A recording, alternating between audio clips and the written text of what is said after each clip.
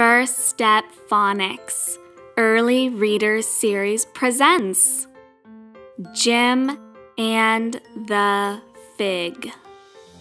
Jim has a fig. Jim bit the fig. The fig is on his lip. Jim is big.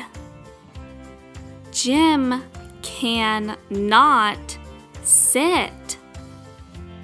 The fig hit Jim.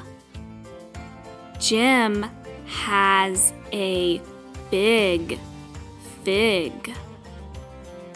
Lil sat on a big bin.